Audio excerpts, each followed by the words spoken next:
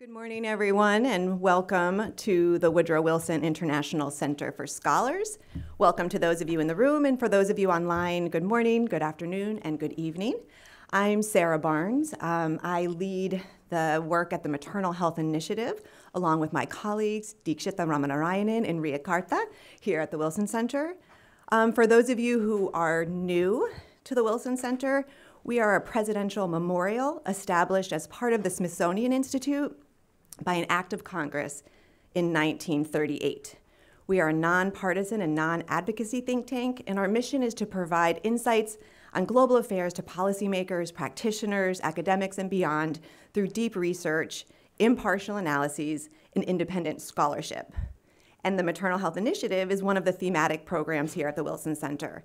And we work across all global regions, looking at issues of global health equity, gender equality, security, and U.S. foreign policy. We're thrilled to be here today, um, back in person, and to be working in partnership with USAID's Momentum Routine Immunization, Transformation, and Equity Project to bring you this important discussion on advancing local solutions and innovations for lasting impact, applying strategies for COVID 19 vaccination to routine immunization. A special thank you to USAID's Momentum Right and JSI for making this event possible and for bringing this important discussion to the Wilson Center stage. Today we have a packed agenda across two hours. Um, we've got experts from Ethiopia, the DRC, India, Nigeria, Kenya, Mozambique, and the United States. Thank you so much, everyone who's traveled far to be with us here today, and thank you to those of you in the room and those of you online for sharing your time with us today. For those in our audience, both virtually and here in person, there will be a time for panel questions during the Q&A session. Um, and so please think of your questions now, and we do ask that you keep those to questions and not comments due to the short time we have for this event today. Um, some quick other logistics. There's a QR code with full bios and agenda right outside the doors of the auditorium. It is also at the bottom of the screen for those of you who are watching online. Um, the QR code has the full bio, so we will just give short introductions of all of our speakers today. It also has the agenda um, for you to follow along. During the audience Q&A, we'll take two to three questions, um, and then we'll let the, the panel choose, pick and choose which ones they would like to respond to. For the people online, you can put um, your questions into the chat function underneath the video that is streaming live now. Um, and the video of this recording will be shared within the next 24 hours, and we will also be publishing an event summary on the .mom column of the new Security Beat blog before the end of the year. So now to the main event. I would like to first introduce our moderator for today, Grace Chee. Grace is sitting down here at the moment, but she will be joining us on stage in a moment. Grace is the project director of Momentum Routine Immunization Transformation and Equity Project at JSI. Grace has more than 25 years of experience in health financing, immunization financing, health system strengthening, and maternal and child health programs. A huge thank you um, both to Grace and Katie Cook for all the work that you've done and everyone at JSI and USAID for all of the back and forth and the background work that it takes to put together a panel like this. Um, and before turning things to Grace, it is my pleasure to introduce our keynote speaker for today, Dr. Folake Olayinka, who unfortunately could not be here in person, so we have some recorded remarks. Dr. Olayinka is the immunization technical lead at the Global Health Bureau at USAID in Washington, D.C., and she's a globally recognized leader with expertise in strengthening routine immunization systems, polio eradication, um, maternal and child health, malaria, HIV and AIDS, sexual and reproductive health, and adolescent reproductive health. Dr. Olayinka will kick things off, and then Grace Chee will join us on the stage and guide us through the duration of the program. Thank you all very much again for being here. A warm welcome, and you can start the rec recorded remarks.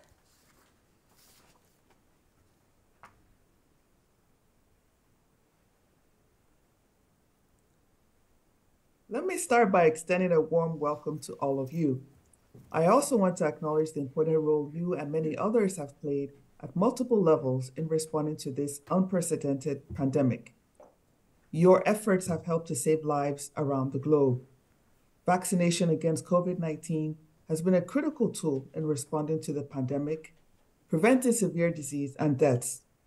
When vaccines became widely available in early 2021, there were many unknowns. We were using new vaccines, including the use of new technologies, and some required special cold chain that was not widely available. There were multiple vaccines that needed to be stored and also administered in different ways. Global vaccine supply and equity was limited, and there was limited experience in reaching high risk populations at scale with vaccination services. This confluence of multiple new vaccines, new variants of concern, emerging evidence, and rapid learning, along with changing health recommendations, made messaging and communications to the general public more challenging than usual.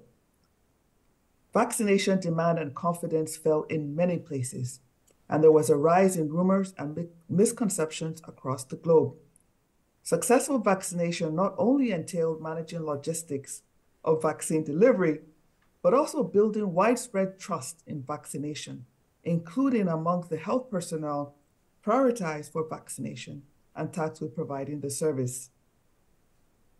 The Momentum Routine Immunization Transformation and Equity Project, as USAID's global technical leadership project for immunization, was one of the mechanisms for providing technical assistance to support COVID 19 vaccination.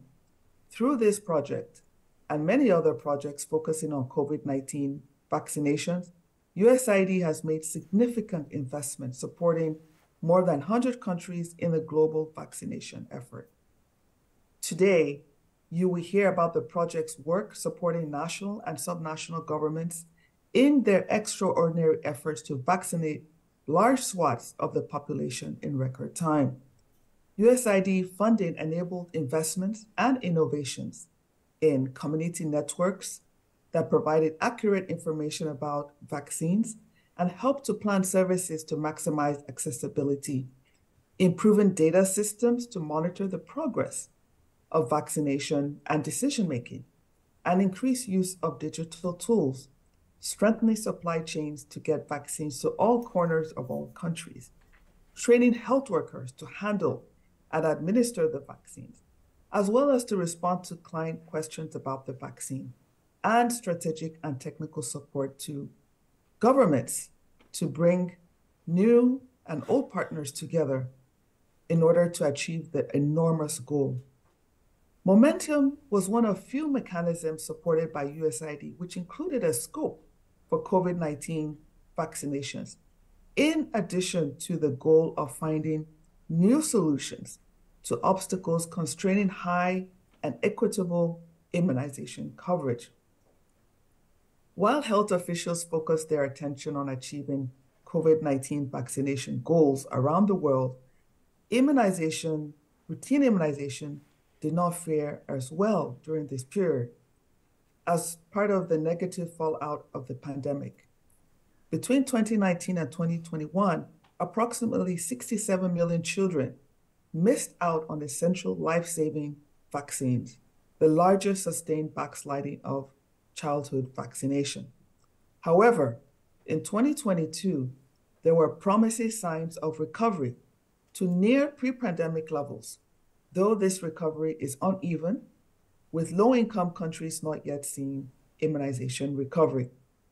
The disruptions caused by the pandemic in 2020 and 2021 have subsided slightly, though, in the recent WHO Pulse survey that was issued in May 2023, over 84% of countries still reported disruptions to one or more essential services. Today's event is organized not only to take stock of achievements in COVID 19 vaccination, but also to reflect on what we have learned and what innovations can be applied to improve routine immunization and get back on track to reach global immunization goals. USAID and their partners will continue to work with host governments to bring partners and stakeholders together to review progress, make adjustments as necessary, and hold each other accountable in order to reach our common goals. Thank you for being a part of this and look forward to the event today. Hello, everyone. Um, as Sarah mentioned, my name is Grace Chee. I'm the project director for Momentum Routine Immunization Transformation and Equity Project. Although Folake wasn't able to join us today because she's traveling, we're really grateful she took time to record that message that sets the stage for our discussion. I want to welcome you, everyone in the room, as well as those joining us online, and thank you for your interest in immunization and in our work. I also want to thank the Wilson Center and especially Sarah Barnes for their collaboration in today's program. I'd like to take a few minutes to give an overview of our project, talk a bit about the rationale for our event today and the program that we have lined up for you. As Folake said, Momentum Routine Immunization is USAID's global technical leadership project for immunization. We were designed to improve the equity of routine immunization. But for about two years of our project, we were focused almost entirely on COVID 19 vaccination. We supported 18 countries and worked with 109 partners to support COVID vaccination. We trained 145,000 health workers and directly supported administration of 21 million shots in arms. As we brought our attention back to routine immunization this year, we realized that so much of what's needed for immunization uh, is exactly what we did for COVID 19 vaccination. The strong coordination mechanisms that brought partners together to review progress and urgently take action and make adjustments as needed. The openness to bringing in new partners because the scale of the effort was so large and the engagement with communities where we listened to what they needed in terms of where and when to provide services. This is what's needed now for routine immunization, not only to recover or catch up, but also to make progress, real progress, from where we were for many years. We wanted to organize this program to take stock of what we've done and share information about new or redesigned approaches to help us address obstacles to equitable coverage of routine immunization and other health services. We designed the program so we could dig deep into four countries, and we're really fortunate to have an excellent panel of implementers from India, Kenya, Mozambique, and Nigeria. We chose these countries as they're among our largest programs and we're working to support both COVID 19 vaccination as well as routine immunization. We plan the bulk of our program to focus on hearing about their experiences from COVID 19 vaccination and their takeaways for strengthening routine immunization. And during that discussion, we will take time for audience questions. Before we go into that, we also organize four lightning talks that'll give you a glimpse into our targeted work in areas that are critical to successful vaccination, but sometimes are a bit less visible. You'll hear these speakers describe how we contributed to global guidance, supported adaptations to implementation based on real time data, and worked hand in hand with health workers and health managers to implement change. Right after the lightning talks, we have a very special video that we're excited to show you. So please let me introduce our lightning speakers who are with me here on the stage. Our first speaker is Rebecca Fields, the technical director on the project, and she'll tell us about work at global level to support COVID vaccination. The second lightning speaker will be Anna Kostake. She's a technical officer with M-RITE, and she'll talk about work in Niger to improve cold chain maintenance. Then we have Tewodros Alemayehu, who will describe his work to integrate COVID vaccination into the measles campaign in Addis Ababa. Unfortunately, he's not able to join us today, and his talk has been pre recorded. Lastly, we'll have Constant Kingongo, our monitoring and evaluation lead from DRC, talking about work to transform the data system for COVID coverage data so that it can be more manageable within the resource constraints in DRC. And we want to thank Jessica Shearer, the MEL lead on the project, who will be translating for Constant so that he can share his experience here today. We hope these snippets will really bring to life how we marry our technical expertise with the project ethos to use data to continuously assess our work, to identify what's working well and not as well, and to work together with local leaders and communities to develop solutions and make improvements. So let me invite Rebecca Fields to start us off, and I will not be making additional introductions between the lightning speakers. Thank you very much, Grace, and uh, a warm welcome to everybody for joining us today. I'm just going to take a few moments to describe some of our global efforts to support the rollout of COVID 19 vaccination. Um, and you'll note that many of these activities, actually, all of them were carried out in close coordination and collaboration with other global partners and implementing partners of USAID. So, just to set the stage, let's think back to where we were three years ago. There were no COVID 19 vaccines. Um, WHO's Strategic Advisory Group of experts had identified who the high priority groups were for COVID vaccination, based both on the disease epidemiology, but also recognizing that vaccine supplies were going to be limited, at least at first. Um, WHO, COVAX, and other partners were already working as quickly as possible to try to prepare countries to be able to introduce the vaccines just as soon as they became available. And that meant doing a lot of advanced planning. One aspect of that planning was to develop guidelines for what were called country level national deployment and vaccination plans, NDVPs. Countries were required to develop those NDVPs in order to be able to qualify for actually obtaining COVID vaccine through uh, the COVAX mechanism. So in late 2020, even before the vaccines were available, we contributed to the development of those NDVP guidelines that were subsequently used by countries around the world. Uh, in early 2021, we then collaborated with WHO, AFRO, and UNICEF to manage a process to very, very rapidly um, uh, do a pre review of those NDVPs from about eight countries in West and Central Africa in order to really assure the quality of them so that they would be accepted as quickly and expeditiously as possible um, so that there would be very few delays with actually getting the vaccines and uh, with countries starting to roll them out. But it's one thing to have a plan, it's another thing to have that plan costed out and to be able to implement it and to have it financed. So, as a companion to these national deployment and vaccination plans, WHO encouraged countries to undertake a costing exercise, and they developed a costing tool for doing so. But it was very challenging to do so. Uh, they put this together very quickly, and also they based it on the experience with childhood vaccination. But now we were vaccinating different priority groups. We were vaccinating adults. We were vaccinating health workers. We were vaccinating people whose uh, size of population was not very well known. And um, also, serve, different service delivery strategies were needed to be able to reach those populations. So, we contributed to um, optimizing, revising, and optimizing that costing tool to make it more transparent, to make it easier to use, and most importantly, to make it so that it would really reflect the service delivery strategies that countries intended to use. That information on costing then was used at global level to identify where the funding gaps were and to articulate the steps for closing those gaps. Okay, so now we've got plans and we know how much those plans cost, but those were all at national level. But even having those good national plans isn't quite enough. Um, to get vaccines out to all who need them, more detailed planning is needed at subnational levels.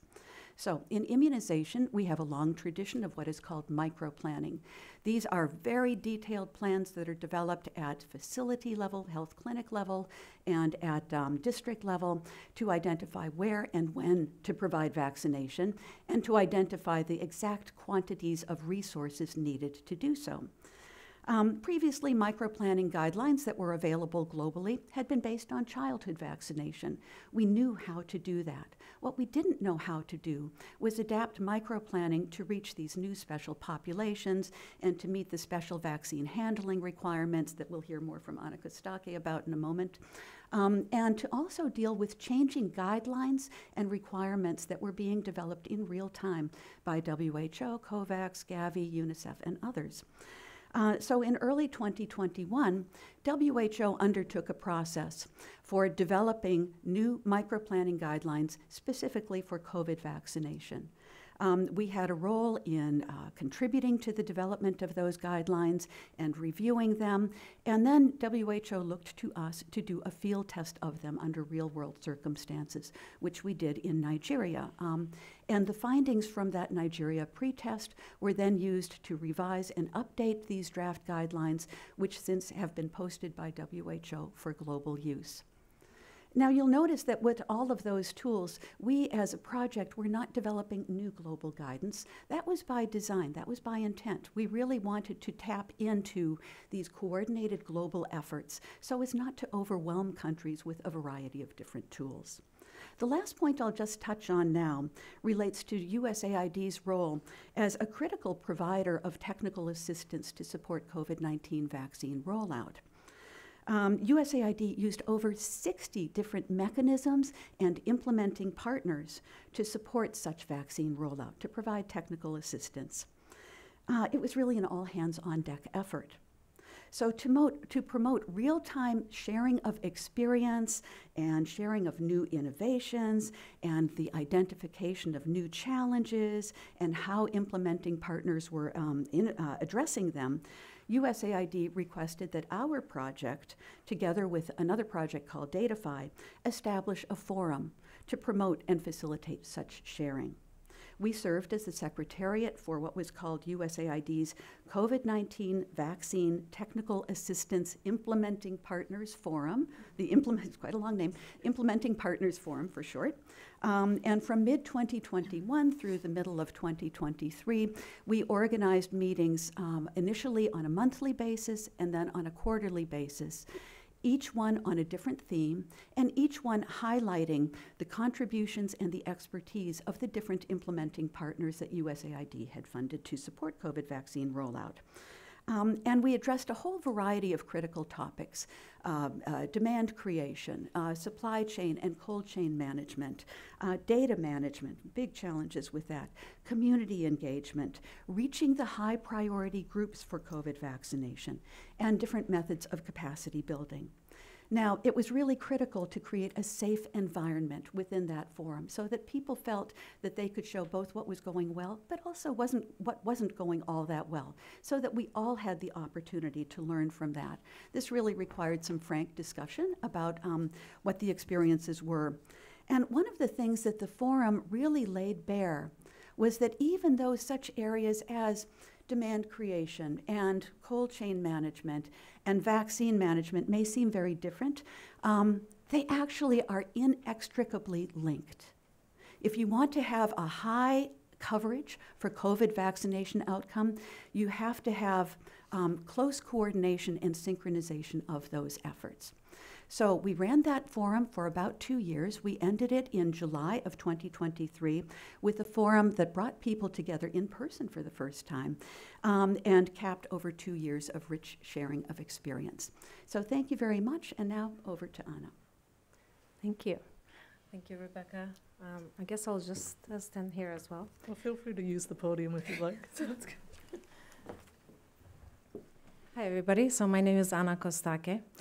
Um, so consider this um, my 86 year old grandfather living in a small village in Romania called Guracaliței. Um, our small village has one health center that caters to a population of about 2,000 people. And I'm sure that we all know small villages, there are millions of villages such as Guracaliței around the world that really rely on a supply chain that works well and that is efficient in order to get vaccines to its people. So, my talk today, as Rebecca mentioned, will be focusing on the work that we've done in supply chain to ensure that um, vaccines get to people in Niger safely and efficiently. So, as we know, um, supply chains are complex. Well, supply chain for vaccines are especially complex. Vaccines have to be transported as well as stored at appropriate temperatures um, in order for them to be safe and effective. So during the COVID 19 vaccine pandemic, the supply chain had to make uh, incredible adjustments just to keep pace with the fast moving environment.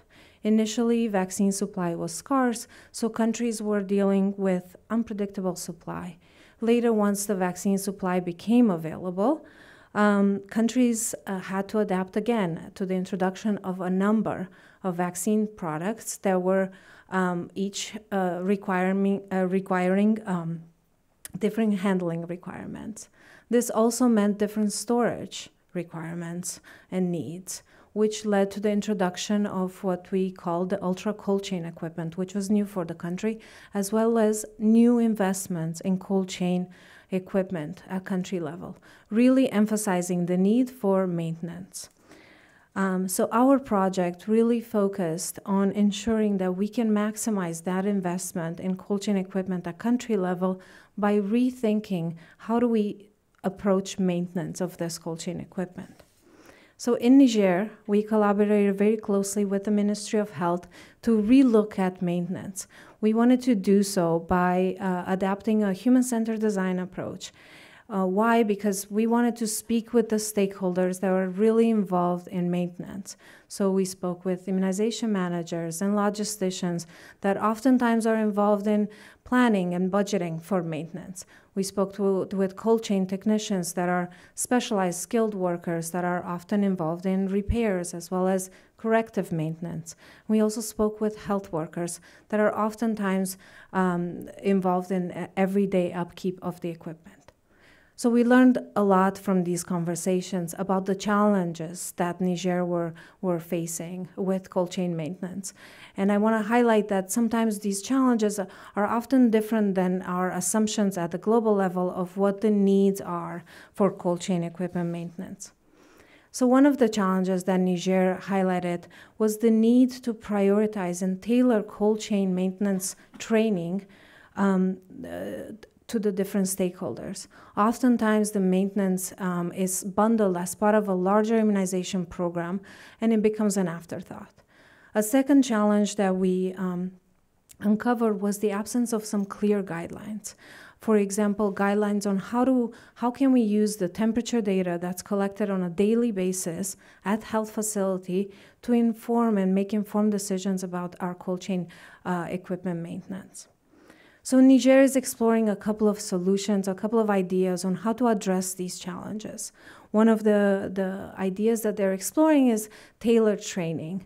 So for example, key people like health care workers can be trained on simple, uh, simple tasks, such as troubleshooting an equipment while they wait for a cold chain technician.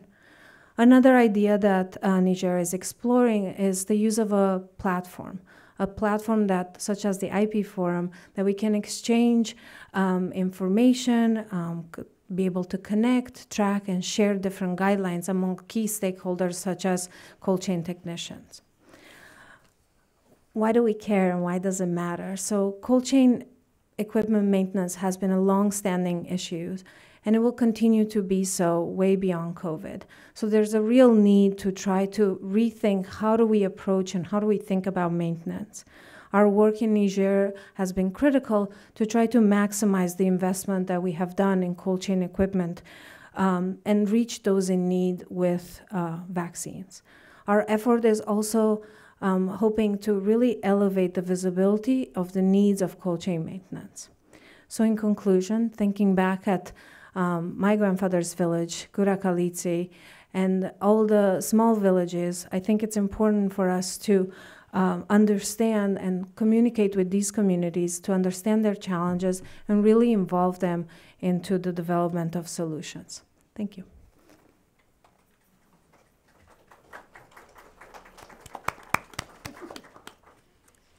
I think now we'll have our video. Um, with the remarks from Tedros Alemayehu.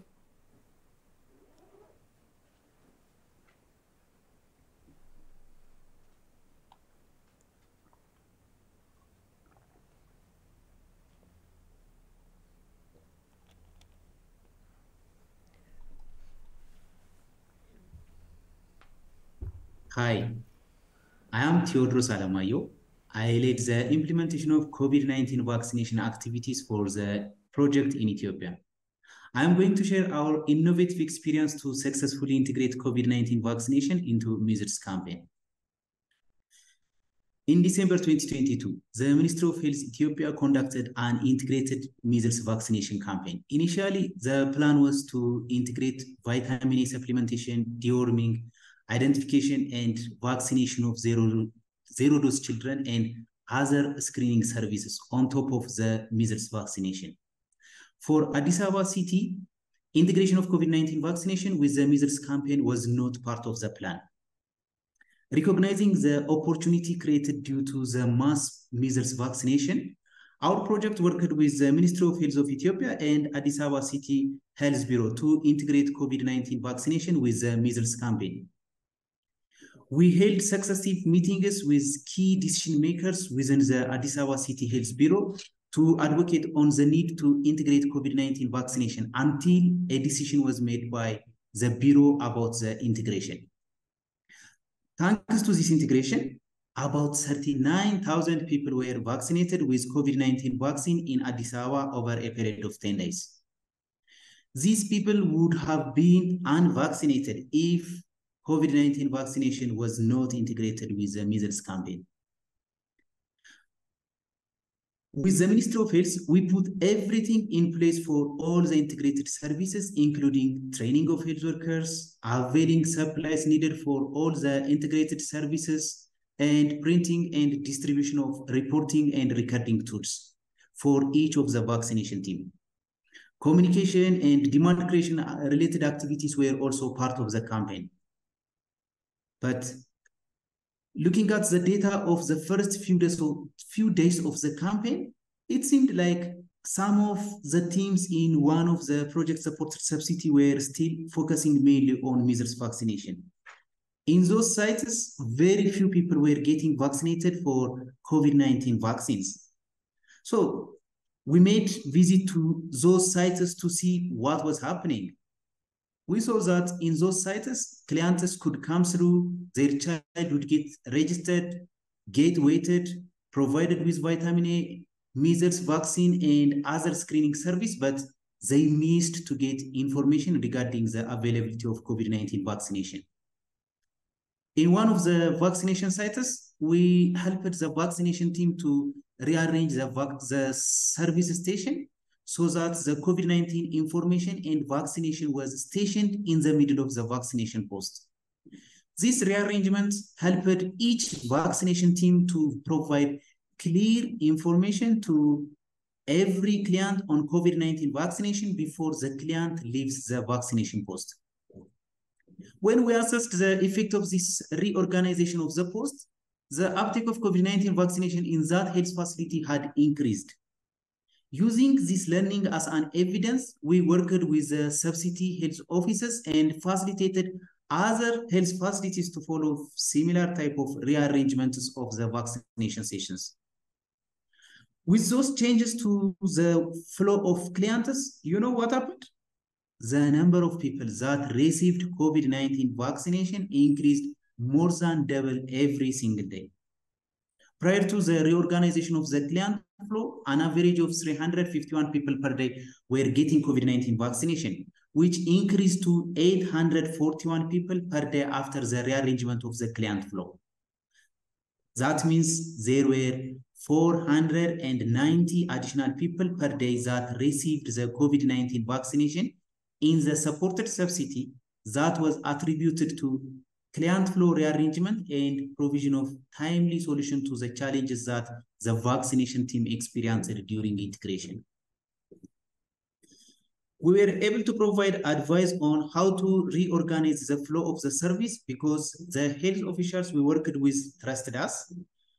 We had staff embedded at the ministry. We looked at the data and saw that things were not working as intended in the vaccination sites. And Together, we developed a, a solution that worked. As a result, integration happened successfully. Thank you for your time and attention.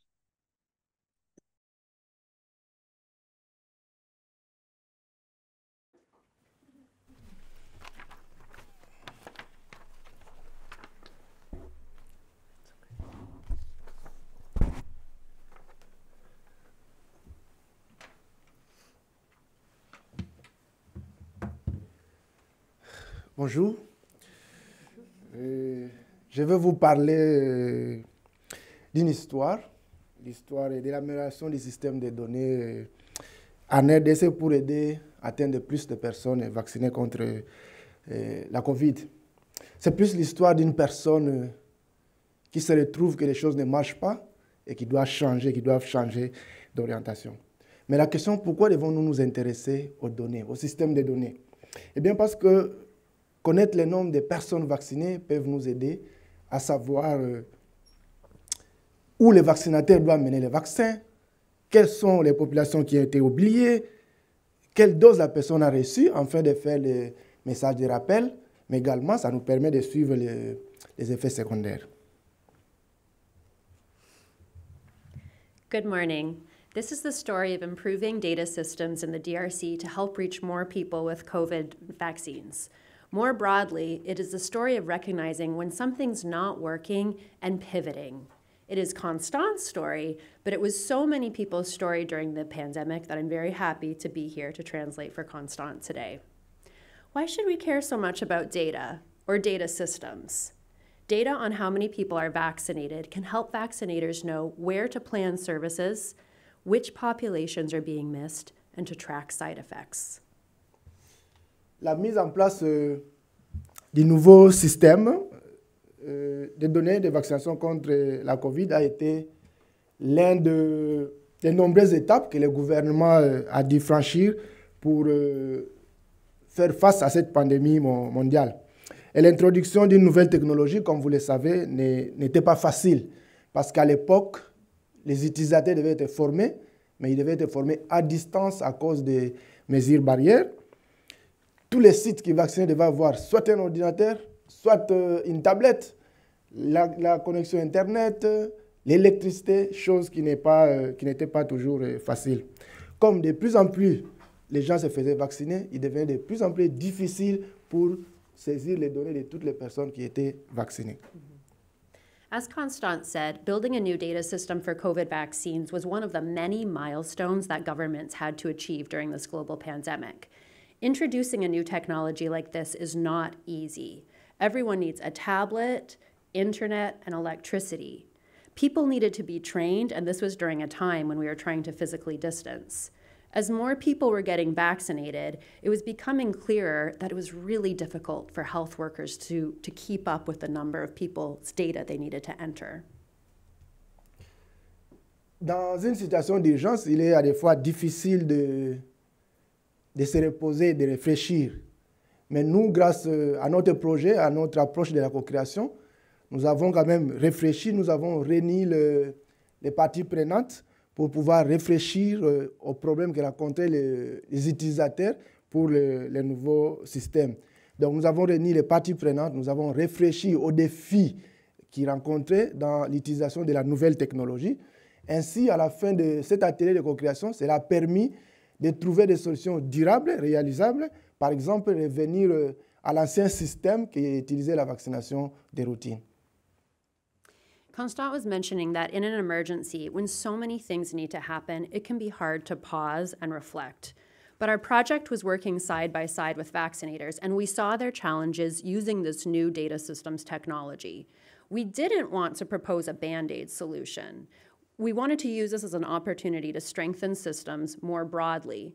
So we brought together stakeholders in a workshop where we had evidence informed discussions of the challenges, the health worker needs, and the broader digital health goals for the country. We looked at the entire system. This workshop co created feasible solutions, such as going back to the system that was used for routine immunization. We thought if we can make people's jobs easier, maybe we'll have more data to use. Constant, did the new system work? Oui, cela a marché. D'ailleurs, une évaluation qu'on a menée à Kinshasa a montré que les agents de santé étaient plus disposés à utiliser les, formats papier bien simplifiés. Ils étaient plus. euh, leur travail, étant donné que les, les outils étaient simplifiés, ils avaient moins de travail euh, qu'auparavant. En plus, euh, la complétude s'est améliorée.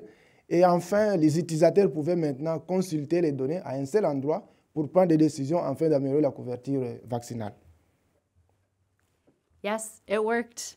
An evaluation in Kinshasa showed that health workers were back to using simpler tools and processes and entering data into the same system they use for routine immunization. Their job was easier, so they were more likely to enter all of the data. Data completeness improved, and decision makers could now see all of the data in one place so that they could make decisions on where to set up services, for example. And this new or old approach is also helping to strengthen the broader routine immunization data systems. So, Constant, what can we learn for the next pandemic? Je dirais trois choses. Premièrement, les nouvelles technologies doivent être adaptées euh, à la réalité de chaque pays. On doit s'assurer que les investissements, les nouveaux investissements sont nécessaires en fait pour la RDC, mais pour les autres pays également, hein, pour, euh, pour un environnement favorable à la santé, à la santé numérique, pour bien nous préparer à la prochaine euh, urgence. Mais également, les, investissements d'urgence peuvent conduire à un renforcement hein, des systèmes de façon plus large, à long terme, hein, s'ils sont conçus à, à, à, cet effet.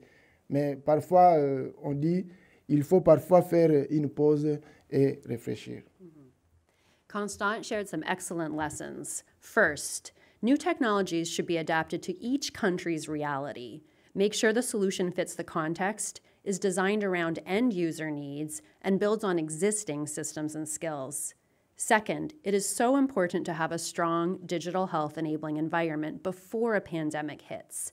More investment is needed in DRC and elsewhere so that we're even more prepared for the next emergency. Third, emergency investments can lead to longer term system strengthening if you design them to do so. And Constant noted that this is why it's so important to pause and reflect. Thank you. Thank you so much to all of our excellent lightning speakers. Um, so as I had mentioned, we're really excited. We have a world premiere video here today. Um, it just came off the production line. Um, I think it's a great way to bring to life uh, the work that we do in, in uh, across all of our countries. Um, and while that's playing, I invite um, our panelists to please come up to the stage.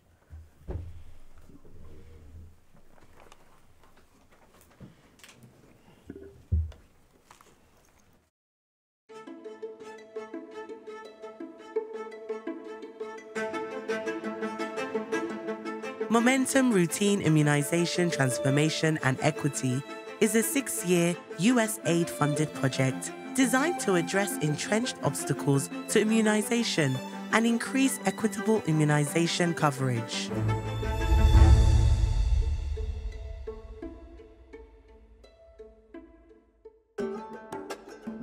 In response to the COVID 19 pandemic, new vaccines were developed in record time it became clear by early 2021 that vaccination would be a critical tool to control the pandemic, minimize deaths, and help us all return to normal life.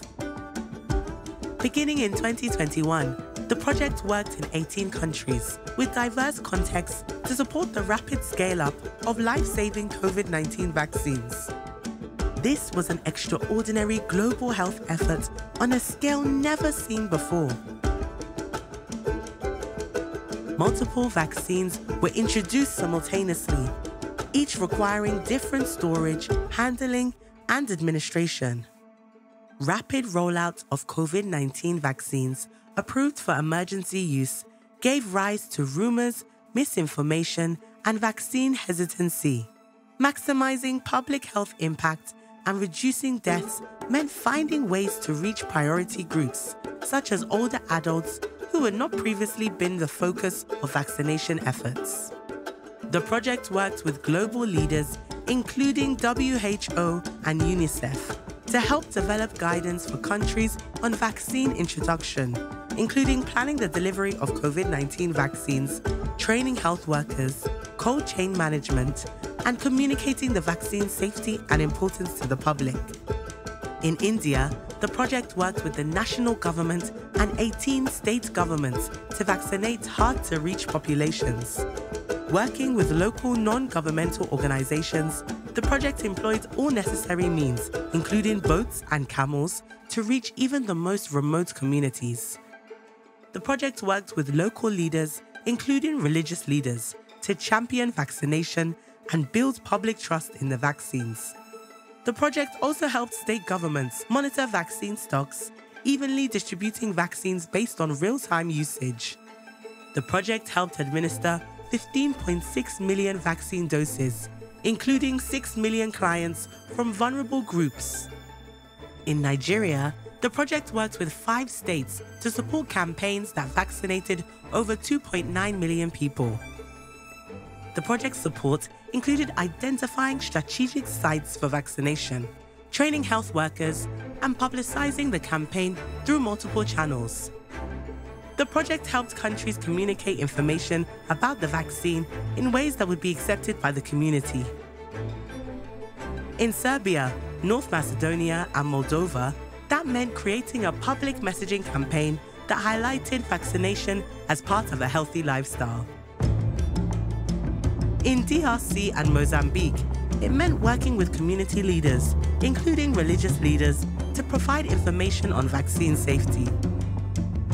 The project brought new partners into the COVID 19 vaccination effort to leverage community networks to identify vaccination barriers and solutions, especially to reach high priority groups such as older populations, those with disabilities, and marginalized groups. New partnerships in Kenya and India leveraged civil society organizations to help vaccinate the high priority group of older adults against COVID 19. As of October 2023, the project has trained 145,000 health professionals on COVID 19 related topics, reached 372 million people with COVID 19 vaccination messaging, and directly supported the vaccination of 21 million people. As countries work to integrate COVID 19 vaccination into other primary healthcare services, the project continues to apply innovative strategies from COVID 19 vaccination to strengthen routine immunization.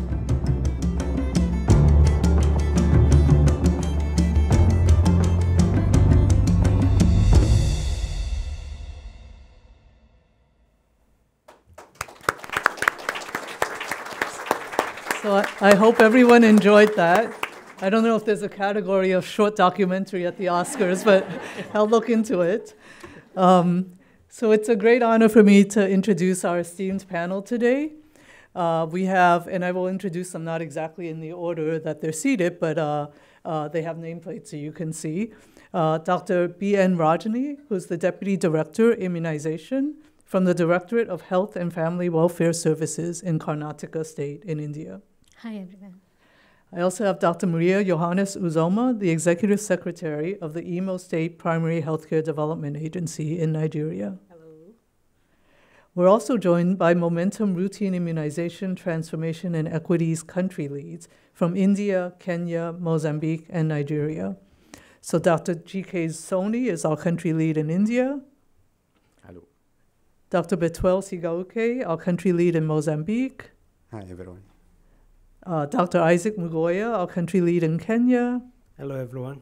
And Dr. Yakubu Chirima, our country lead in Nigeria. Good day, everyone.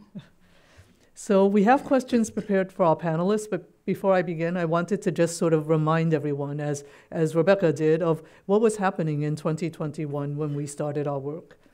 It was a time when things were really changing very rapidly. There were waves of infection in different parts of the world at different times. Perceptions around vaccination and the risk of the disease were changing really rapidly. And also, vaccine supply was really unpredictable. M-RITE started its work in Kenya and Mozambique in mid 2021, and later that year in India. Our work in Nigeria didn't begin until 2022. And over time, countries faced different challenges based on the status of COVID 19 infections, whether there were a lot of cases at the time, whether people were fearful of COVID or tired of COVID. We'll talk with our panel today about the challenges to vaccination, how they overcame those challenges, and what we can learn from that experience to strengthen routine immunization. So, my first question I want to pose to uh, Dr. Dr. And Dr. Sigauke. Um, when vaccine rollout began in 2021, What were some of the key challenges that you were facing, and how did you respond to them? Uh, I'm Isaac. When vaccination began in 2021, one of the biggest challenge was that we now vaccinating a group that we were not vaccinating and we had no experience.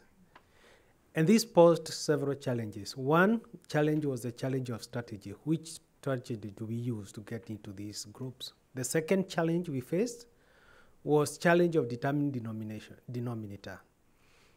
We had priority groups but one individual could fit into several categories of those priority groups, and therefore it was very difficult to say that we have an accurate denominator. Also, there was no data existing for these different groups of people, and therefore we really had to quickly identify ways and means of looking at these data. The third challenge we had was the how do we manage data from this kind of vaccination of a group of heterogeneous group of people. Several things were done in my country one of the things that we used was existing registry, registry for uh, non-communicable diseases, cancer disease, uh, HIV, and other diseases. And then we also realized that these registries were incomplete. So we still needed to improve on them, and that is still a work that is going on. For data, one of the things that we realized that with the introduction of electronic system, people face the challenge of not having enough data bundles to be able to upload because it's supposed to be an online system, to be supposed to be live, but if you don't upload data on time, that data is not becoming useful. So what the project did in one of the counties that we supported was to be able to provide data bundles for the counties and to be able to ensure that the data backlog that was there was uploaded. In one county, we had up to 80,000 data entries that were not entered. People vaccinated, but not available. And this, when we hired when we hired clerks to do this and provided data bundles, this largely improved the coverage of that county and helped to improve the county because this county was one of the counties with largest population in the country. So those are some of the things that were done in Kenya. I would want to hear from Mozambique as well. My name is Betuel, the country uh, program, uh, country project lead. I would like to add some of challenge that we also faced in Mozambique during COVID pandemic. Two of them are related with misinformation, and the second one is the shortage of uh, COVID vaccines.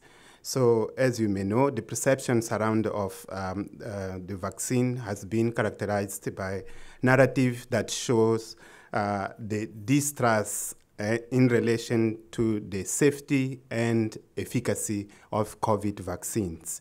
So the project has dedicated for a social uh, mobilization with a key message to uh, explain that there are uh, more benefits with the vaccination than the risk. So the social mobilization also uh, was complemented by uh, engagement of uh, leadership from all level, at community level, and also at um, government, uh, government at national level.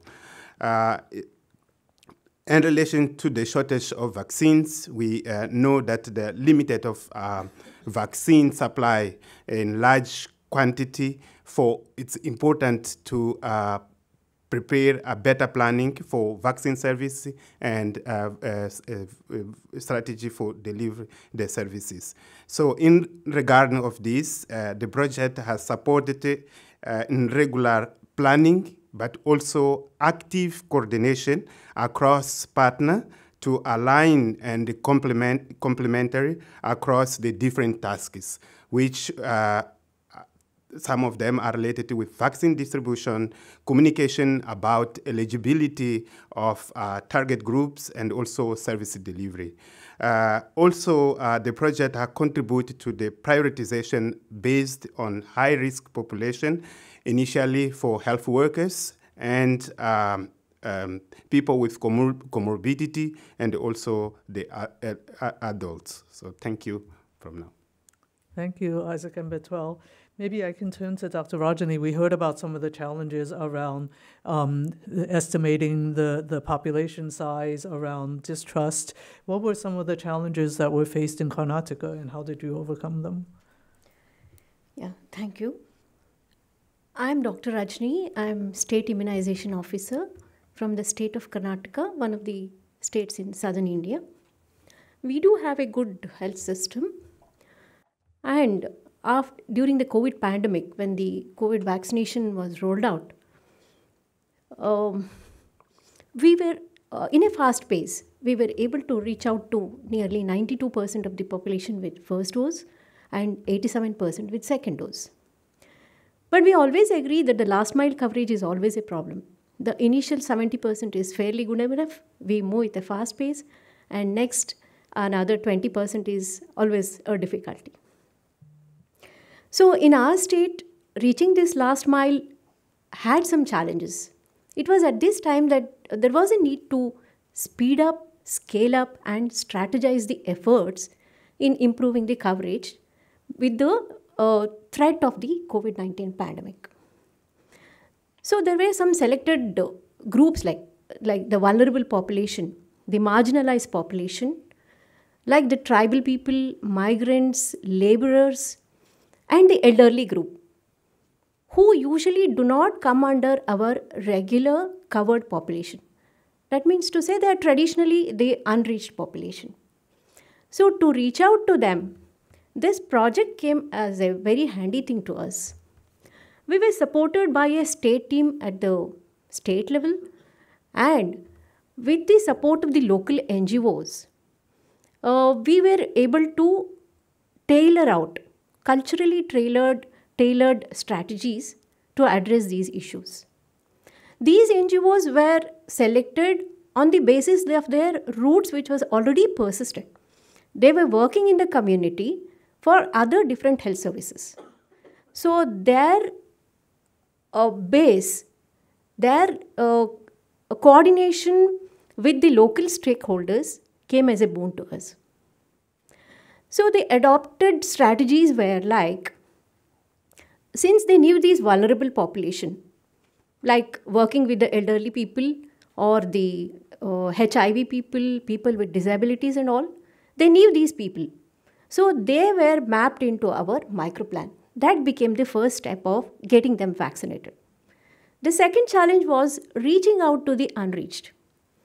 We agree that these people with disabilities or the elderly people, they cannot come to the vaccination sites. So the mobile vaccination vans were provided so that our team moved, uh, the project supported us in this way. Our team moved to the houses. We had house to house vaccination. Near to home vaccination were also uh, planned, and uh, in needy cases, they were mobilized to the vaccination centers. So that was the implementation aspect. And the third aspect is addressing the vaccine hesitancy and refusal. There are various uh, linguistic and uh, um, barriers, cultural barriers, which prevented them to get themselves uh, access to the vaccination. So we took the support of the uh, leaders, that is faith-based organizations, the civil service, uh, civil society organizations. So the project team uh, helped as a bridge between the government and the community. There were community stakeholder meetings, uh, street plays were made. They were all communication strategies were really uh, tailored so that it could reach to these people. I could quote an example in one of the districts uh, dealing with the uh, tribal people. Their people, they never used to uh, get themselves vaccinated. And when our team moved there, they found out that because of alcoholism, many men were alcoholics there, the family was dependent on the male person in the family to give their consent to get the family vaccinated. But the person, the male person, would always be under the influence of the alcohol. So, this was a real task for our team. So, the project uh, supported HR, they moved to them, they moved to the community, they were able to reach out to the time when they were not under the influence of the alcohol, convince them and get the family vaccinated. This is one just example like how uh, we were able to reach out to them. And next is the aspect of this uh, uh, digital literacy. India had the COVID digital platform. So mandatorily, we were supposed to supposed to record the vaccination on this COVID registration. Uh, this. So the project supported us in uh, capacity building of the health workers. They moved from house to house. They understood that because the people were under the idea that they have to mandatorily register themselves online, and uh, that's why they didn't access the vaccination. So the project people, uh, they talked to those people in person. Interpersonal communication skills were adapted, and uh, they were convinced about the need for vaccination, and uh, they were moved to the nearest vaccination sites, helped out in getting themselves uh, on spot registered, and got them vaccinated. And the important strategy what we adopted was the data driven approach. As I already mentioned, we had the digital platform. So we, we utilized this, we got the feedback out of this platform, we analyzed, and there were two situations. One, the, when the project uh, stepped in, there was a demand for vaccination, and the strategic utilization of the vaccines was done. And the, at the fag end, there was no need, the threat perception had reduced, but the vaccines were already uh, piled up in the COVID vaccination centers uh, with the short shelf life. So we had to create demand again for the second dose or the precaution dose, and that's how this worked out. Thank you. Dr. Rajani. So maybe I can turn, turn to Dr. Soni. So we heard about the challenges in Karnataka and how they were addressed. But what about nationwide? We were tasked with working in 18 states. How did that large mandate affect the strategy that you took? Thank you, Grace. I'm Dr. G.K. Soni. I'm the project director for India, JSI India office. So rightly mentioned by, by Dr. Rajni that there are many challenges the state had faced. So similar challenges were there in the, across the country when we are working in all the 18 states. So basically the challenges are on the both side, the supply side as well as the demand side. So in supply side, when the vaccine program was rolled out, there was limited supply of the vaccine because the production was limited. So there was indigenous vaccines which government of India has used, and there was a limited supply, and that has to be judicially used in the country. So we have to take care of all the supply challenges what were there, from manufacturer reaching to the last mile, each and everywhere the supply has to be tracked. Similarly, in supply chain, the human resources were engaged in disease surveillance also. They are doing the pandemic surveillance also. So there was a fatigue factor in the human resources also who are worked for the vaccination program. Secondly, during that pandemic, everyone has faced, either with their family members or they themselves have faced the pandemic effects and the disease fear what Dr. Rajni has mentioned. So definitely there was fear factor also, there is eagerness for the vaccination also. Then we have the geographical challenges. Country has wide variety of geographical challenges. The northeast states have different challenges. The southern states have different challenges. The eastern has different. The north part has the different challenges. So we are working across the country. I think the 18 states what we are covering that covers nearly one third of the population of the country where we have supported with the project activities, and we have supported nearly 300 districts out of the 700 750 districts in the country. So that means one third of the districts we have already covered with the project geography, and that was a lot of support what the project has given and the country. So geographical challenges were there, human resources were, uh, challenges were there, then implementation challenges were there. Vaccine was available, how to reach the last mile.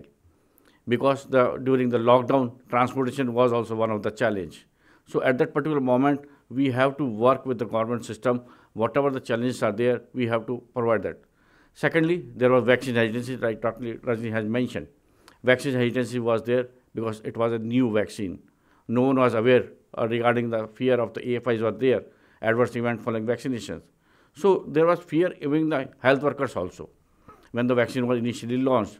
So we have to take care of all these activities and different manners in different states, different strategies were adopted. For this, we have engaged 26 local NGOs, what Dr. Rajni mentioned, in every state, they have supported for community mobilization activities, interpersonal communication activities, so that the myths and misinformation which was there in the field and the community was broken. So there are multiple activities which are conducted and there was crisis. So we have to do whatever we do as early as possible, the speed and scale. So onboarding of these NGOs orientation of the NGOs, health workers also. is a very tedious job for us. And ongoing, immediately when the project was started, it was in the middle of the pandemic. So we have to onboard our own human resources for the project activities as well as for the NGOs also and bring them on the board because the program was evolving in the phased manner. In country, it was not like that we have started the vaccination for entire age groups. It was in the phased manner. When the program started in January 2021, it was with the health workers and the frontline workers. Then they added the high priority groups, the 60 plus, then 45 plus, then 18 plus, then 12 plus. And similarly, the vaccines were also rolled out in the country in the phased manner. Initially, there were one or two vaccines when we started the program. Then the vaccines approvals were taken care and they were added in the program. So, so many things were going on in the program. Every time the health worker needs to be oriented, we have to align ourselves with the government of India's priorities or state government priorities. So multiple capacity building uh, trainings have been done. Like Dr. Rajni mentioned, there was a digital platform that was also evolving over a period of time. For the first time, because country has a large population in the uh, geographical area, one sixth of the world population is there in the India. So we have to cover, we have to enlist each and every beneficiary for the vaccination. So the digital platform what we have used, we have to orient the teams, we have to create the awareness in the community how to use the digital platform. Like one of the examples she has quoted. So similarly, there are multiple challenges and the project has aligned themselves with the priorities of the government of India and the state governments to support all these activities. So data analysis was one of the component also to identify the pockets where is a low coverage. The vaccine distribution needs to be planned where is the maximum consumptions or where is it. So multiple activities has happened during this activities. So I think we have aligned ourselves in the project geographies for the demand as well as supply chain challenges, whatever we have faced with the support of our local NGOs, organizations we have engaged in the field.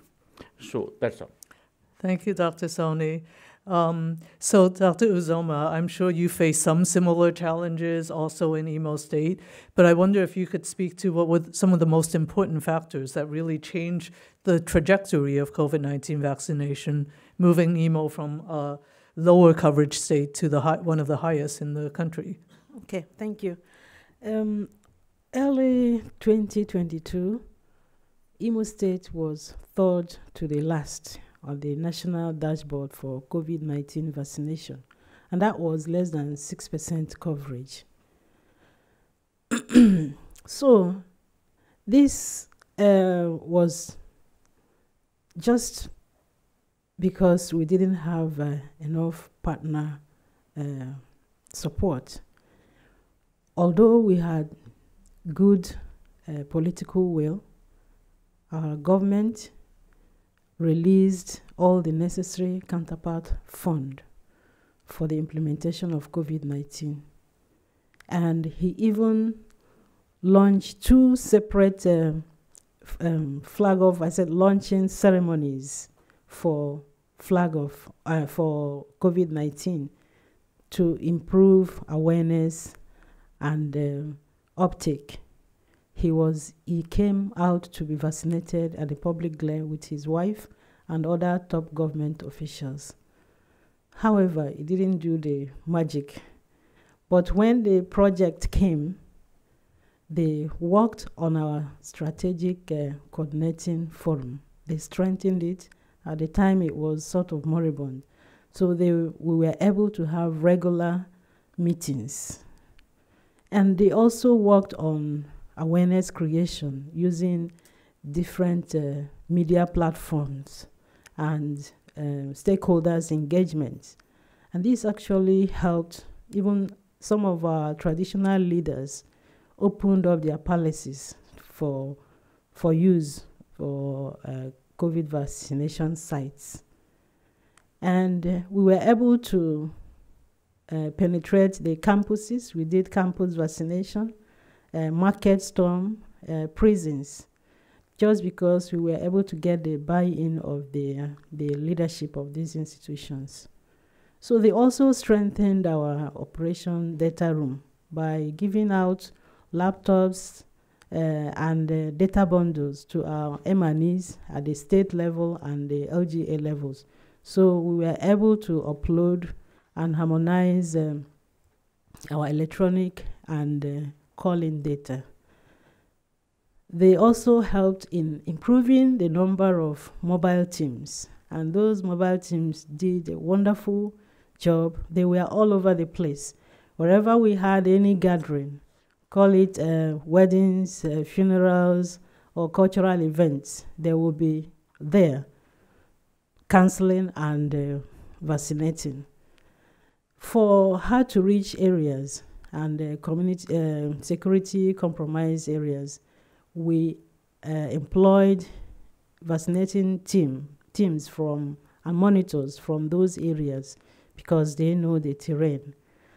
And um, we were able to also uh, organize some uh, medical outreaches where we gave out routine drugs such as over-the-counter drugs and uh, anti-malaria drugs to those who come for to be vaccinated.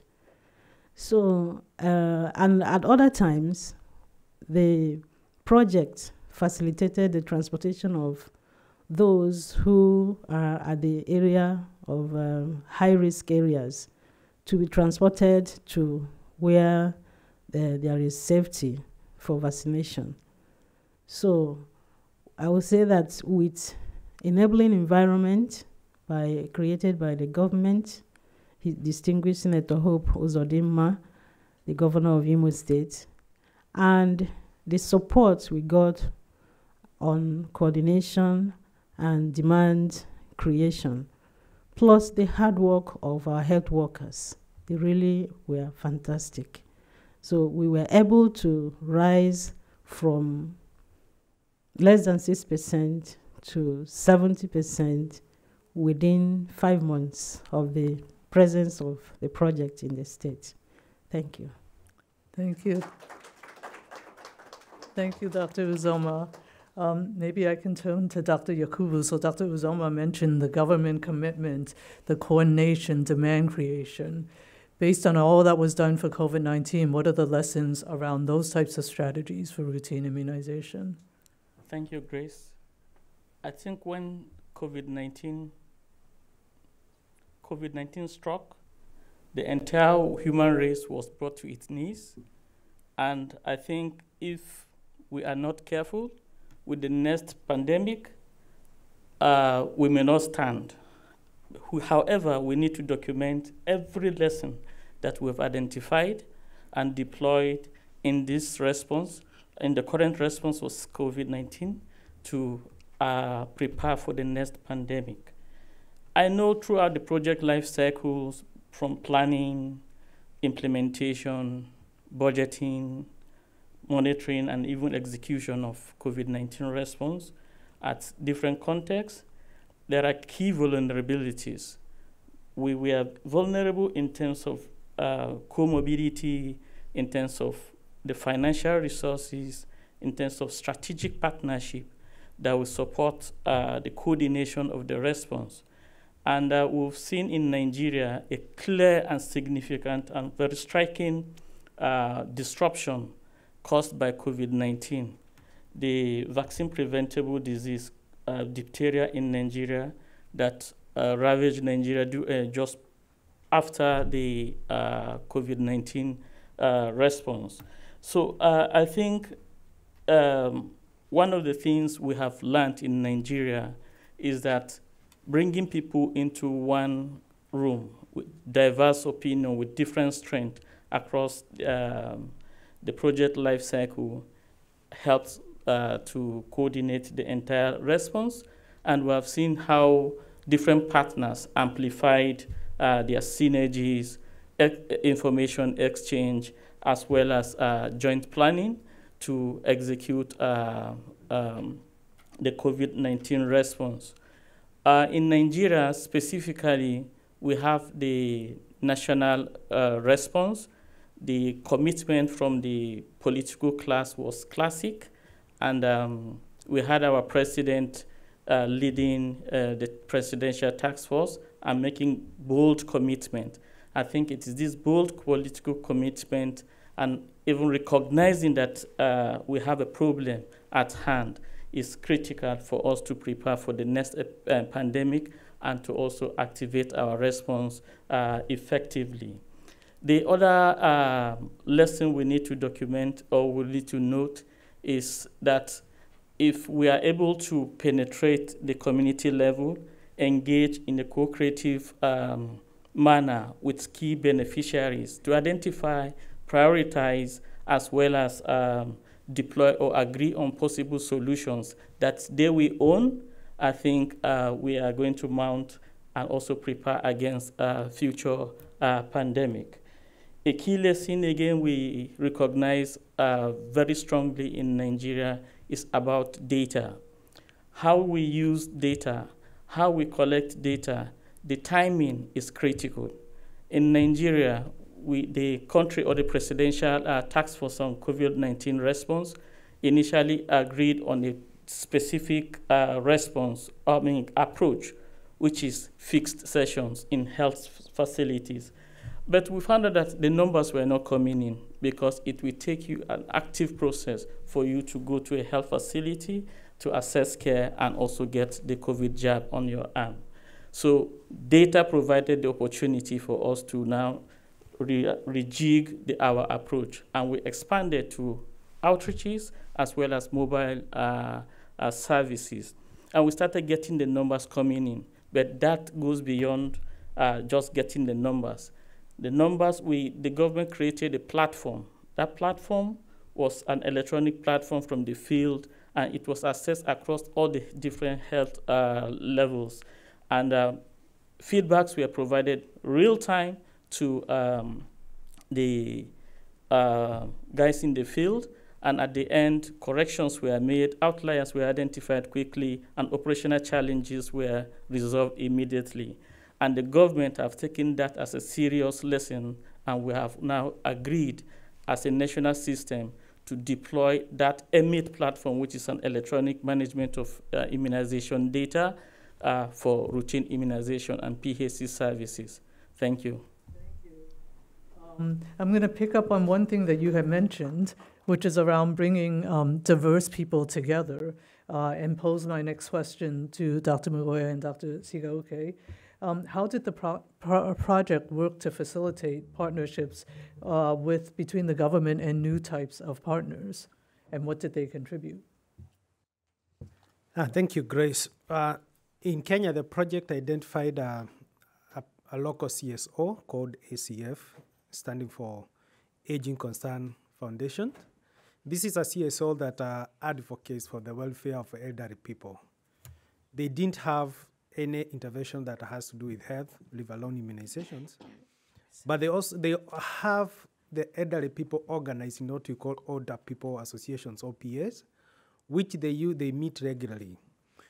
When we looked at their model, we realized that they could provide some few things for us to be able to reach these populations. One is a trust that these old people had in the, these organizations. And because of this, it was easier for us to use ACF to be able to advocate, educate, and also get feedback from old people on immunizations, as well as get their concerns about why they were not getting vaccination, vaccinated and what can be done to help them get vaccinated.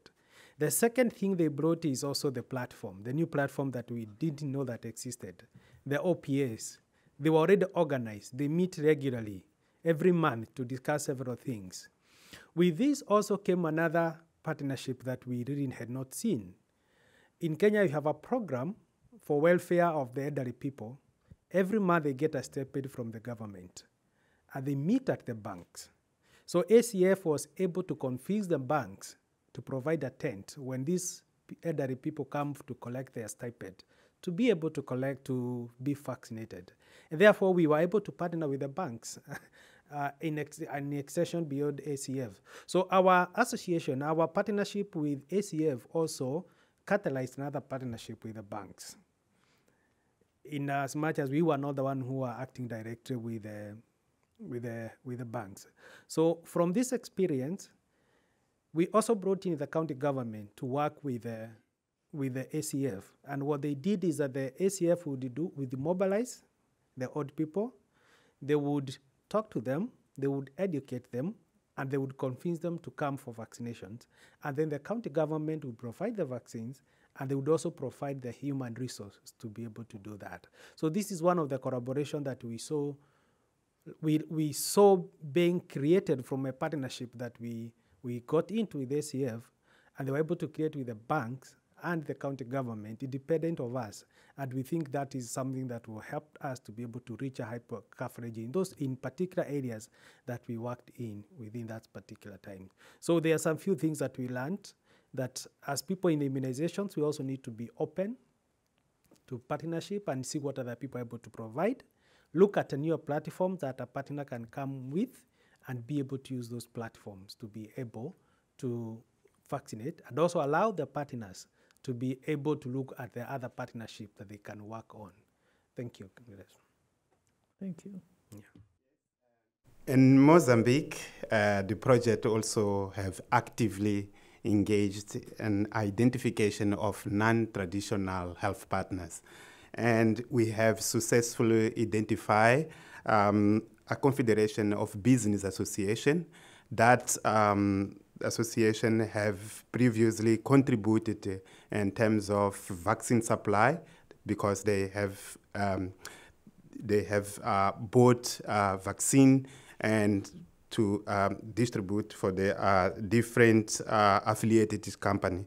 And we engage uh, this association in order to allow to use the platform to access the affiliated company in order to improve the access of vaccination to the workers and jointly with the family. So with this platform, we have successfully increased uh, the number of uh, of uh, increase the uptake of the vaccines. And because of this experience, we are continuing uh, looking engagement of other different um, uh, partners in order also to improve uh, routine immunization um, uh, service delivery. We know that there are so many needs, and those non-traditional partners have really important uh, role in the uh, vaccine uptake.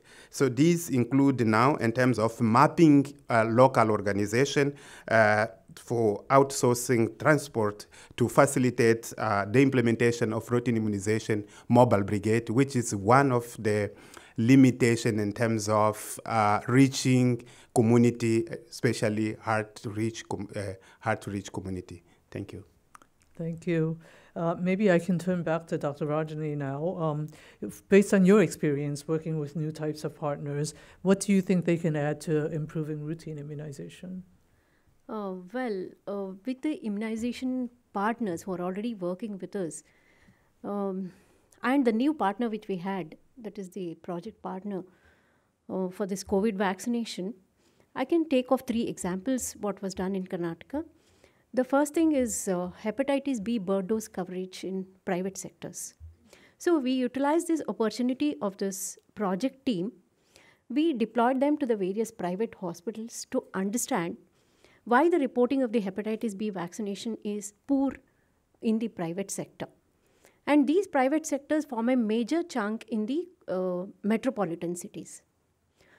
So the, this study gave an insight as to what has to be done to improve the coverage of hepatitis B birth dose vaccination, be it the capacity building for the pediatricians, the mandatory reporting, and the cold chain aspect was also uh, studied. And the second thing is uh, now globally we are committed towards measles rubella elimination, and so also is our country, where we need to vaccinate children uh, with both the doses with more than 95% of measles rubella vaccine. So simultaneously, when the COVID vaccination was in a declining trend, at that time, uh, during the last November, we started with the measles rubella elimination activities. So we utilized this opportunity the uh, grassroots level coordination which these uh, the local NGOs had and we were able to identify when they moved to the families we were able to identify the children of 0 to 5 years who were not who had not received either a single or two doses of measles rubella vaccination and that's how the MR vaccination also ramped up And the third thing is uh, in India, we recently uh, concluded with the Mission Indradhanush. It's a program to vaccinate all the children who are due for any dose or who are missed or dropped out. Uh, so during the three rounds, the learning which we got uh, during COVID vaccination, we had identified certain influences who can influence a group or a community to get themselves vaccinated. So these influences who helped during the COVID-19 vaccination were also a great support in making this Mission Indradhanush program also successful. So these are some uh, three examples which uh, I thought I would quote. So, uh, working with the partners and the new partners, uh, which we did during the COVID 19 vaccination, it has necessitated the need for exploring the new approaches uh, which can be leveraged into addressing the routine immunization equity. So, uh, we feel that these partners can prioritize the healthcare delivery. They can act as a bridge between government and the civil society organizations. And moving forward, the immunization program is expanding like anything. Uh, we are getting the newer vaccines uh, into the schedule, be it the HPV vaccination or uh, we already have the school vaccination, the TD, uh, and then influenza vaccine probably and typhoid vaccine. We don't know. Many vaccines are coming up. So I think the role of partners uh, will be very important in supporting the government. Uh, and then uh, they can support us in strengthening the uh, coordination at the grassroots level, which I already mentioned, because the local NGOs play a very good role in um, establishing the coordination with the stakeholders at the grassroots level, which becomes very important. So these partners can act as a catalyst in strengthening this routine immunization activity. So this is at the lower level, but it, when it comes to the higher level, uh, partners can play a very important role in guiding the policymakers, uh, be it in terms of funding or uh, the expertise which can be utilized in their uh, of their various domains in addressing the equity in relation to routine immunization. Thank you. Thank you. Um, thank you for that. I, am going to move away from partners for a little bit to talk about uh, Dr. Soni and Dr. Yakubu. You both mentioned um, about misinformation during the pandemic. Can you talk a bit about what we've learned about how to tailor communications to different groups in order to address any concerns that they have, and how what what have we learned that would be useful for routine immunization?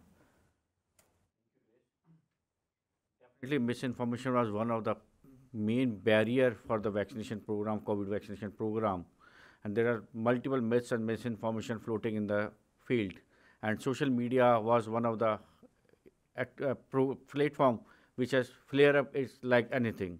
So it has just flare up like wildfire. So we have to counteract those misinformation and myths which are floating through the social media, especially in urban areas where the vaccination needs to be there. So definitely the strategies were uh, planned accordingly how to provide right information and with the right platform.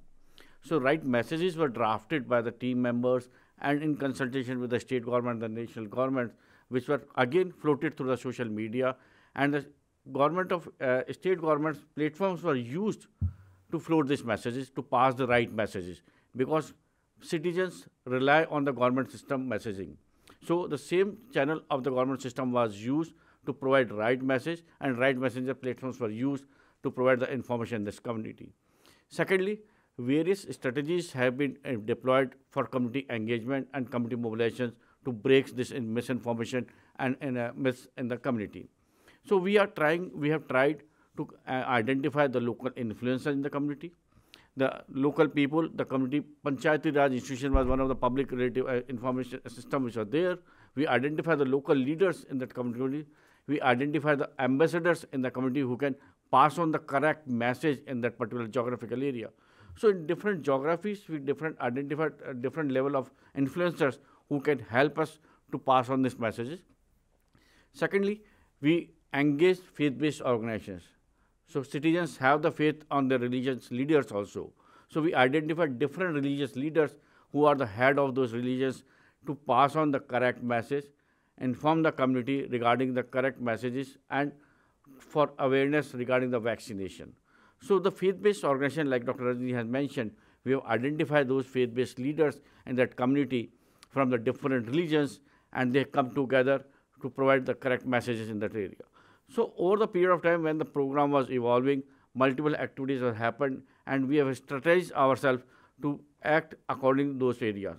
In some of the areas, we identify the local ambassador, like for the transgender community, the champions were identified that area. The young youth leaders, when the program was started for the 12 plus, we identified the youth leaders in the community, or some role models who are can pass on the correct message. So different strategies were engaged for different activities in that area. Secondly, we did some dipstick also to identify the behavior and insight of the community. That was the behavior and uh, social drivers, from where we also get some information and accordingly we plan our activities. So there was intent to get the vaccination in the community, but there are challenges where to reach, how to reach the vaccination sites. There were inaccessibility was one of the challenge. So either the vaccination uh, team were provided uh, vaccination in those particular geographical areas, or those citizens are brought to the session sites. So the barrier, we are trying to break that barriers also for the inaccessibility. Then there was other linguistic areas, ma'am have mentioned that also. So language problems are there. So understanding the local language, the tribal community, multiple linguistic languages, the local IC material was contextualized in that language so that they can understand it properly. So we have translated those messages in that particular geographic area. State government has supported a lot for that, floating those messages. Because as such, we don't have the social media platforms, but we utilize the social media platforms of the state governments. So that has helped us for that particular area. Then the daily wages, they are having the loss of wages in that particular area. So we try to organize the camps in the labor uh, industrial area itself so that there will no loss of wages, or we convince the organization heads to free them for the uh, vaccination program. So we have tried multiple approaches to reach this uh, community areas. In, in schools, we have tried to get the school camps also. Then some of the workplaces, we have tried to do the workplaces campaign also. So based on the local situation and need of the program, we have evolved our strategies to create awareness and to break this misinformation. Thank you. Thank you. D Dr. Yakubu, do you want to add a bit to that? my, my friend and brother here um, in India is almost the replica of what is obtainable in Nigeria. But the key message I have is that we've learned over in Nigeria is that there's no silver bullet communication strategy or product, you know, that will uh, address the different concerns of uh, the multiple uh, individuals affected or impacted by this disease. Uh, from the early onset of that, I mean, the COVID 19 vaccination, the messages were tailored towards risk perception and also the need for uh, uh, social distancing to avoid, uh, to prevent the disease. And as vaccines were introduced, the message changed. So um, all the, all, I mean, the different contexts of the individuals and also their particular needs needs to be factored when uh, tailoring such messages. That's, thank you. Yeah. So we just have a few more minutes before we break for questions from the audience, but I wanted to address my last question um, to Dr. Uh, Mugoya and Dr. Uzoma you know, we've heard mention of engaging with different communities, community leaders to try to reach key population groups. What if we learned about community engagement for COVID 19 that really is needed for routine immunization and any other future health emergencies? Maybe Isaac, you can start. Yeah, thank you, Grace. One of the th- one of the lessons that we learned with COVID nineteen is that uh, when it comes to community engagement, the biggest thing that we should aim at is uh, community ownership. And ownership does two things. The community looks itself as a, a source, a provider of the solution, not just a consumer of our, of our solutions. We need to look at the community engagement two ways, both to create demand and also for service delivery. In Kenya, we learned this when we were working with some very informal groups. We worked with the two groups of uh, that were part of the priority groups. One of them was motorcycle riders. You may think that because they have motorcycles, they are able to get to facilities. But this, you need to understand that the motorcycles are not for their own mobility. They are, they are a source of income for them. And therefore, they are faced with this challenge of wanting to earn an income and coming for immunizations. So they are not coming for immunizations.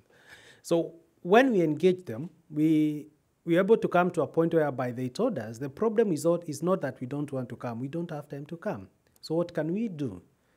And as we discussed with them, they proposed a solution that worked very well for them, that they could mobilize their colleagues, they, they know where they can meet, where they wait for clients, and then the project, together with the, with the county government that was supporting, would provide the solution and come and get them vaccinated. So they provided a solution that we had actually not thought about.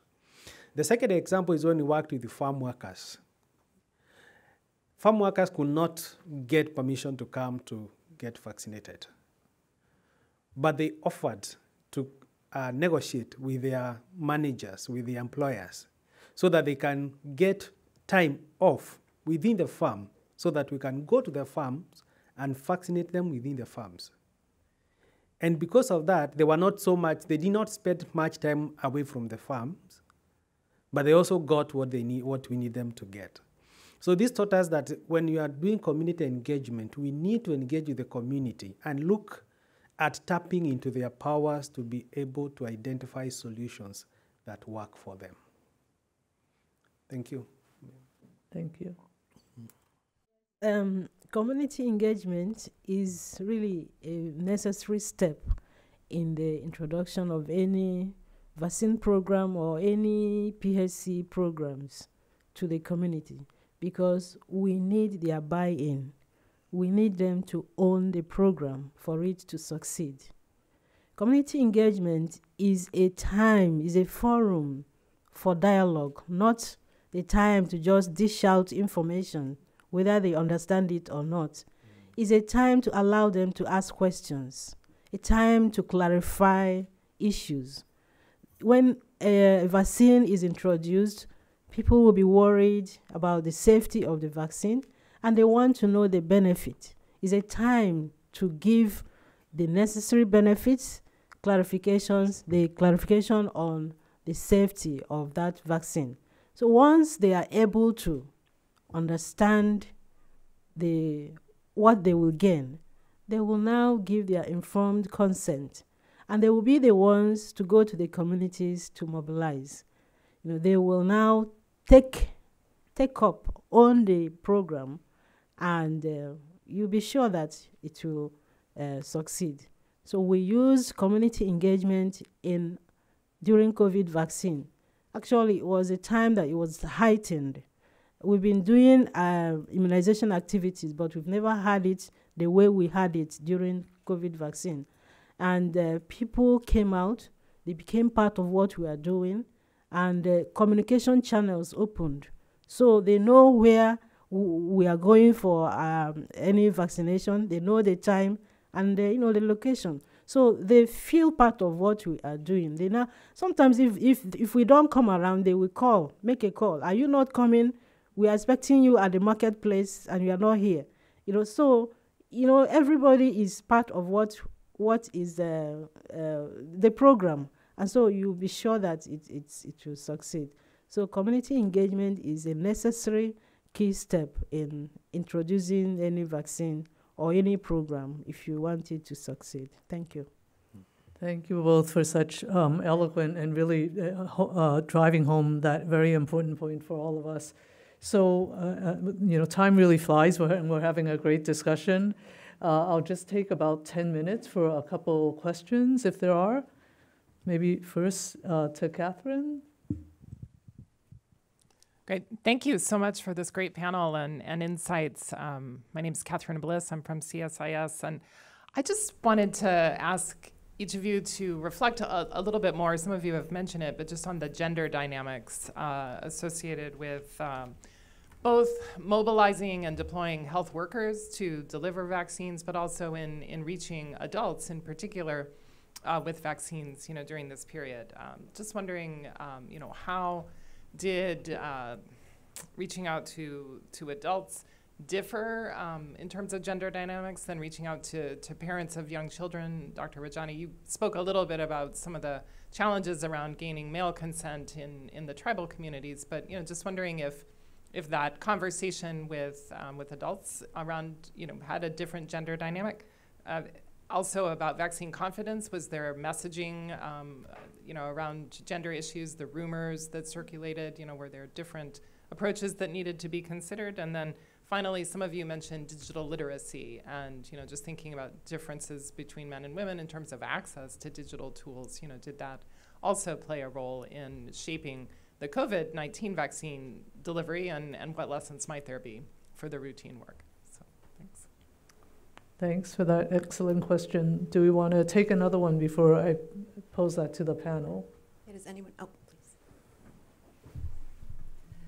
Thanks everyone for such an interesting discussion and panel. This is Nida Parks from USAID's Global Health Bureau. Um, so maybe I would just love to know if there was one innovation um, that COVID 19 investments and work has given you that you plan to or hope to carry forward um, apart from COVID. So whether it's something that you know was an innovation that now serves your um, routine immunization systems better, or it was an innovation that now um, allows you to do disease surveillance and pandemic preparedness better. But was there one thing that jumps to anyone's mind that really was new and unprecedented in terms of the COVID response that really will serve your programs um, well going forward. Okay. Thank you, because let's stop with those two questions. They're two excellent questions, and I think we can spend a lot of time on them. Um, maybe I'll just give everyone a chance and they can respond to one or the other question, if that's okay. Um, maybe Betuel, I'll start with you. Yeah. So you get the first choice of the question. Thank you. I think it's a really great questions regarding to innovation and also gender issue. I will pick for the innovation. Um, when we talk about the innovation, sometimes we think a little bit out of the box. Sometimes we have with us several uh, innovation that can help. Uh, I think not exactly innovation, but uh, routine immunization have been uh, affected several times due to the quality of uh, data, uh, either for availability of data timely uh, in the health information system. And we learned from COVID that um, the same uh, database have been used for data entry in daily base and the data was available in terms of utilization of this data have been so critical for decision maker in terms of how where to allocate uh, the service delivery based on the uh, program performance.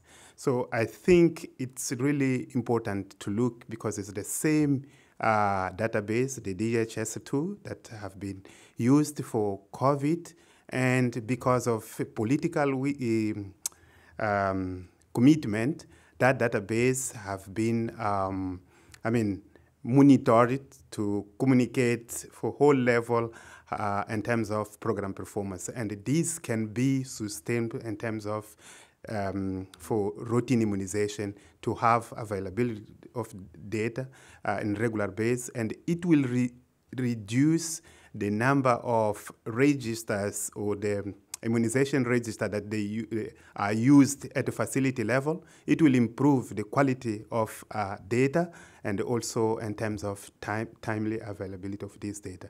So it's really important because it's the data that we need, it's the data to take decisions, data for planning, and without this, we cannot really improve. So in our context, we see that this is something that we learn, that we can really keep um, uh, supporting uh, this uh, DHIS2 for routine immunization for uh, data entry at um, point of care to ensure availability and the quality of data. I know that is not uh, apply for all of uh, country because some they already have, but this is the really great tool that uh, can be strengthening health information data. Thank you. Thank you, Betuel. Dr. Chirima. Yeah, I'm happy to be the second person, so I'll go for the second question. Okay, great, excellent. yeah, so um, in terms of innovation, what we have learned in Nigeria as a key uh, aspect of what we can put in or factor into routine immunization or PHC services is the use of GIS enabled microplanning. Um, in Nigeria, yes, we have the normal map uh, on cardboard paper where assumptions were made, you know, but we went beyond that. COVID 19 resources were available for us to go beyond uh, the cardboard paper mapping uh, to identifying settlement, uh, taking geocoordinates from this settlement, assessing the distance between the serving health facility and the settlement, and identifying some natural barriers or even um, uh, some geo geographic uh, uh, obstacles between the settlement, each of the settlement as, uh, uh, as linked to the healthcare facility. And we also, we use that same um, resources to count, not 100%, but to count and estimate the number of um, total or target population in those settlements. Collectively, uh, we use uh, that to enrich our micro plan and identify other resources and partners that will take on each of these uh, uh, areas identified. And outreaches and also mobile uh, services were planned and monitored and executed. And in Nigeria also we have a, what they call routine immunization supportive supervision tool. It has two components, one in the health facility and the other one is done through like a sampling or LQAS, um, lot quality uh, assessment, uh, community survey, where children within the age of 0 to 11 months are sampled and then their immunization st uh, status assessed and recorded. And such is, uh, is linked again to the first question about literacy uh, literacy to technologies, literacy to mobile devices, Kobo Collect is very easy uh, once the appropriate trainings and the right tools are deployed. And so with all this, we were able to identify those target population. And we are using the same um, support now to identify zero dose children and under immunized children for effect, and we, we reconcile them with the health facility for immunization. Thank you. Thank you. I just want to remind the first question around gender dynamics for COVID, if someone would address that. I wanted to add to the innovations that Dr. Yakubu mentioned. You know, um, in Imo, it may not be an innovation to you, but it's a very uh, good innovation to us, using the platform of the traditional leaders as uh, vaccination points. And you see them, they are very excited. Before now, we didn't know we can even approach them. But after COVID vaccine, we now know that we can even touch touch them. So the the in in in the last uh, um, outbreak response against polio, we even made them give the oral polio to children. So they are now part of our uh, uh, uh, immunization program. So it's a very good innovation, and we are going to continue to use it.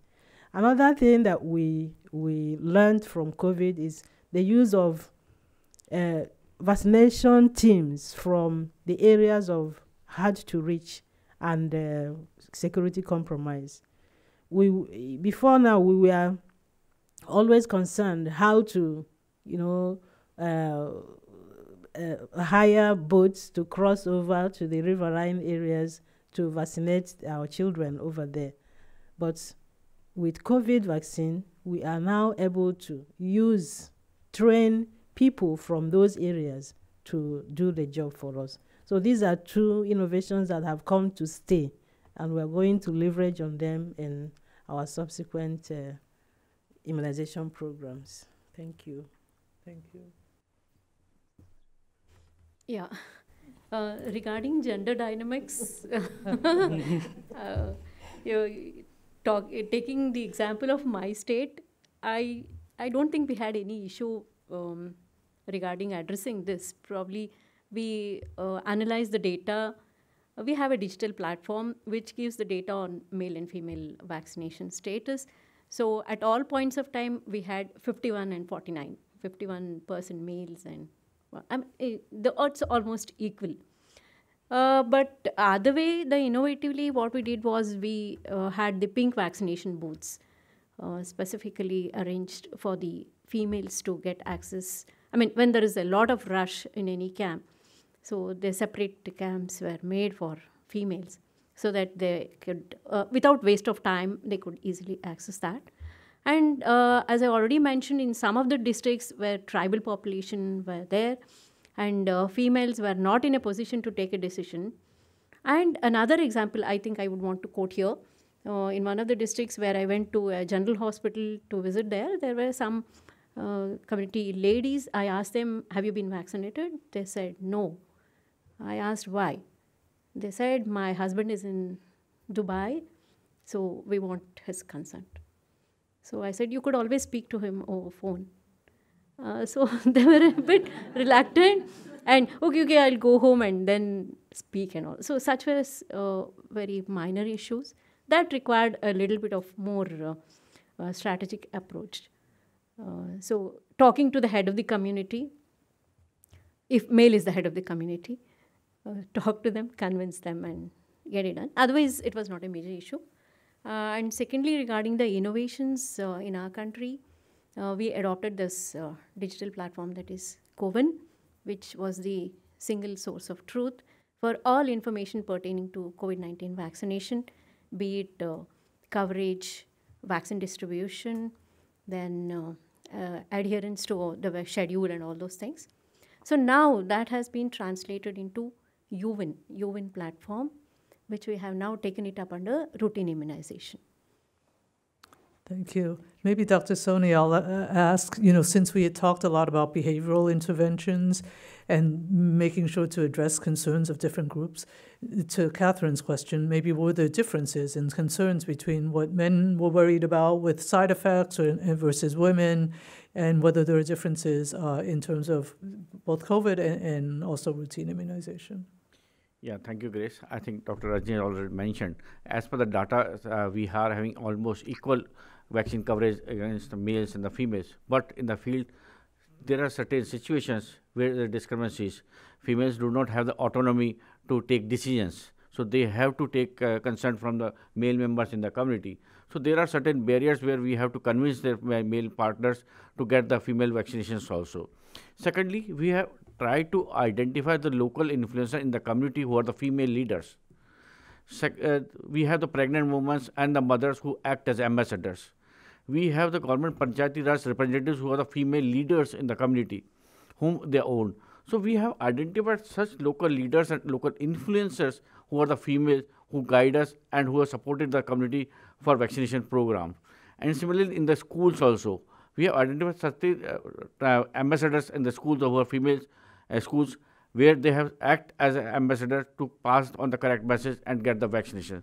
So gender balance definitely we have reviewed it over the period of time and the COVID data platform was every time giving us the real information regarding the gender balance for the vaccination coverage which is going on tracking. So we are tracking that and we have taken intervention based on that particular area. On the second question, definitely for innovations, multiple innovations have done in the COVID. COVID was a, a, boost and a boon for everyone. So we have learned so many things from the COVID. So the topmost what I remember for the country that a localization, the concept of the USAID was one of the thing.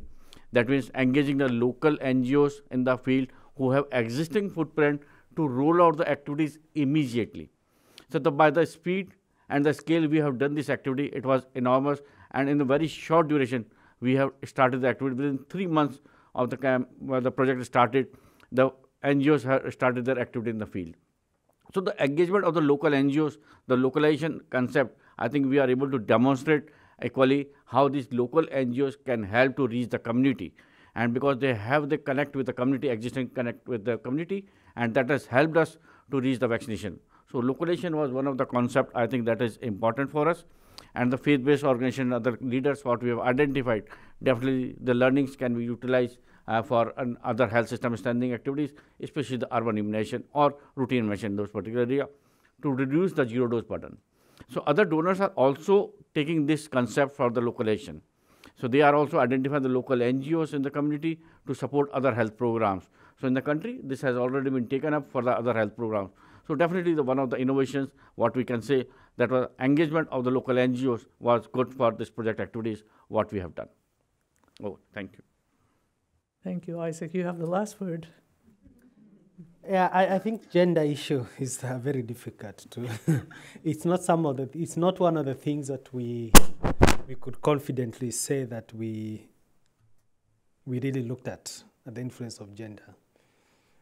But and this reminds me one thing. When we looked at the elderly population in Kenya, the population that you're looking at, there were actually more women vaccinated more than men, unlike in the other populations. And the only thing we could think about was probably there are more women the women population in that cohort is bigger than the male, than the male population. But among the health workers, and where most of them are female, we also saw that sometimes male are higher. And we couldn't explain this. When we talk about digital literacy, I think there are two things that we need to think about. Not only the ability to be able to use the digital tools, but also ability to consume, interpret, evaluate, and interpret the information that you receive, especially through social media. It is, I think I read about one article where it seems like social we females in our setups tended to believe social media much more than the males. Males tended to take time to tended to be a bit more critical. But this is something that is not documented. I think it's something that probably is a good challenge that we need, we, we think we can look through. And this is an area that I think we need partners who are, able, who are very strong in agenda to be able to help us think through. But I think one of the things I think in just to finish up, for my country, I think we looked at the one of the things that we can carry over from COVID-19 is a digital digital vaccine vaccination registry. But I think one of the things that comes up for me is partnership. How do we define partnerships and what are we looking in partnership? We should just look beyond funding and service delivery. Look at what other assets partners can bring when you're doing vaccination. Thank you. Thank you, Isaac. So I know we're out of time. I had other questions, but I won't be able to go into them. But I did want to say a few words because actually those last two questions really provided a great way for us to bring together some of our key points around, um, starting with Betuel, around the importance of data, the importance of engaging NGOs in a, in a discussion, not just providing them information, um, but also hearing their questions and concerns.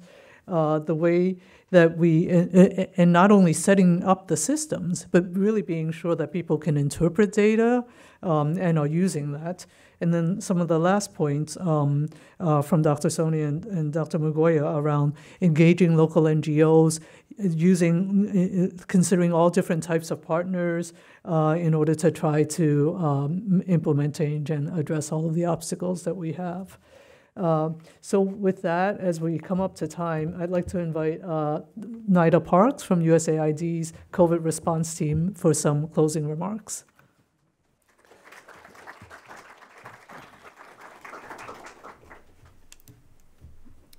Thanks so much. Thanks so much, everyone. Um, thank you to the M-RITE project team and to the Wilson Center for organizing this today and for everybody for coming. Um, I think this has been a really, really interesting panel and discussion so far. And I'm really honored to be in a room with the people who actually did the work as opposed to the people who sat in Washington and um, talked about how we suggested others do the work. So it's really, really appreciate not just your coming today, but from the very start being kind of the leaders in how we took on this pandemic. Um, you know, it was a matter of getting the actual vaccines out there. That, but then this delivery piece, once we finally were able to get the vaccines everyone needed flowing, um, it was this delivery piece that was absolutely critical, and we couldn't have done without your hard work. Um, and just as a reminder in the beginning, remember it was 70%, we were going for 70%, right? And that was just such a high challenge. Um, I think we've right-sized it since then, but um, you know, just to remind us, um, get a little bit of PTSD of uh, what we were all challenged to do in the beginning, and I know that you were all uh, probably stressed, quite stressed with that challenge. Um, so I think again, talking, getting a chance to talk to the folks who were on the ground doing the work today is just is just such a, um, a critical piece of um, our reflection as we look back at lessons learned. Um, I think Dr. Uzoma, the example you gave of going from six percent uh, coverage to seventy percent in five months is just testament to. Um, you know how smart um, and well done all of the interventions were with your leadership um, and the, the partners who are behind you. Um, so I think, you know, we heard a lot about um, getting accurate and timely information. We heard about listening to communities and building trust. Um, you know, uh, Dr. Soni um, combating the misinformation on social media and with local leaders, you know, that was uh, true for you all as a challenge. It was true across the board. I think it, no country, including the United States, was immune from that challenge. And I think um, the way that people were able to address it was just really remarkable. Um, bringing the idea of bringing new partners to the table and this idea of innovations is um, is just so great to hear about. Um, Dr. Mugoya in Kenya, you know, the trust with our um, with the elderly. Um, and and that was that's not a group we we try to vaccinate normally. So again, just this was uncharted territory of adult vaccination. Um, so it was really genius the way um, everybody figured out well, how do we access a group of people who are not part of our routine immunization? Um, so again, this was new, and you all thought of these ideas and then implemented them um, successfully. Or in Mozambique, accessing workers, um, or as, um, as, as was mentioned, grassroots orgs and kind of influencers at the local level. Um, and so, and then I think that hearing from, for example, um, Dr. Tewodros on pivoting, so learning, looking at our data and then learning where things weren't working and pivoting is absolutely critical. And I know that everybody, you know, that was a great example about um, the measles campaign and just simple positioning of the vaccination booth differently.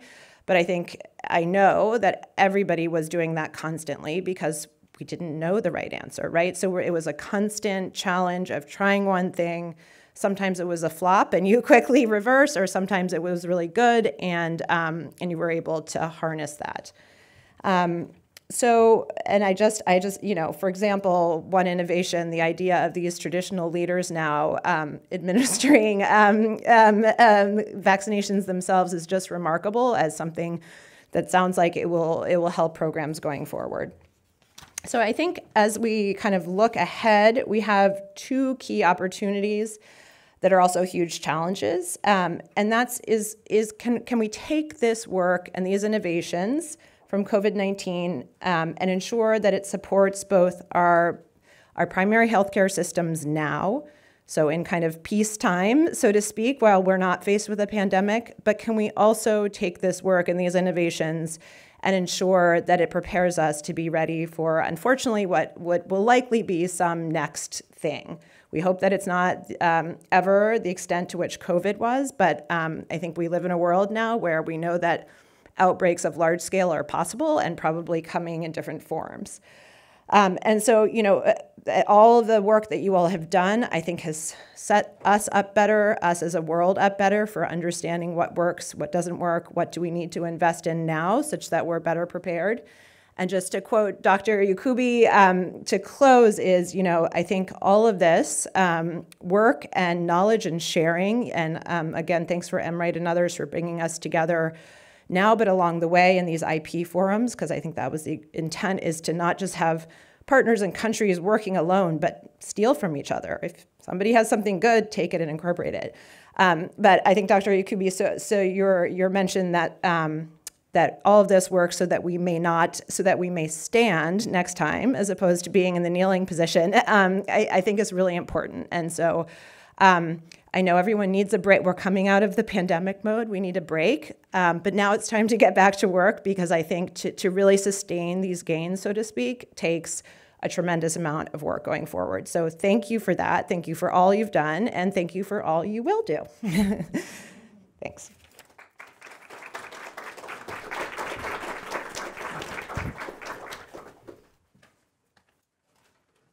Thank you, Nida, for those excellent comments. Um, again, I want to thank everyone who joined us both in the room and online today. I want to let's give a big hand for our panelists and all of our lightning speakers. Um, and thank you very much. Bye.